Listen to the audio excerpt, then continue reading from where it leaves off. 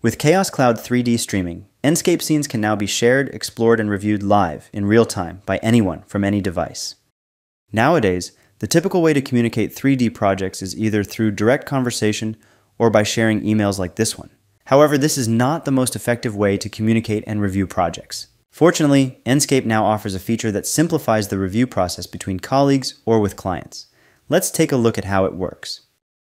Here, in this Enscape file, there are already some viewpoints created. If you pay attention to the Enscape toolbar, you'll notice a new cloud icon.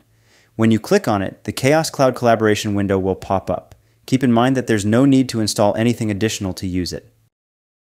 If no projects have been created yet, we can easily create one by clicking the plus button and giving it a name. This is where our file will be saved. Now we just need to click Upload. When we click Open in Cloud, a window with a play button will appear. Clicking the play button will prompt us to start an interactive 3D session. Let's click Yes. Here is our project, on the web, where we can easily navigate and explore, just like in Enscape on our local machine. One big plus is that we can open it not only from our computer, but also from mobile devices such as tablets or smartphones. Also, our viewpoints are saved, and we can easily switch between them. Now it's time to share the project with our colleagues or clients, otherwise it will only be visible to us. Let's click on Share.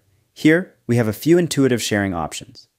First, we can enter an email address to share it directly.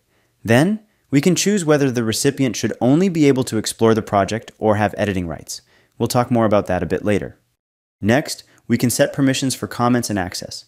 If we're sharing the project with someone who doesn't have a Chaos account, we'll need to select Anyone Can View, with or without the option to comment. To make things even easier, we can copy the link and send it, or share a QR code that links directly to the project. Now the client can open the file using the link, or, if they were invited via email, they will receive a message and be able to explore the project easily. There are also some navigation instructions available if needed. This is an excellent way for the client to explore their project and experience the space that will be built, without needing any powerful hardware.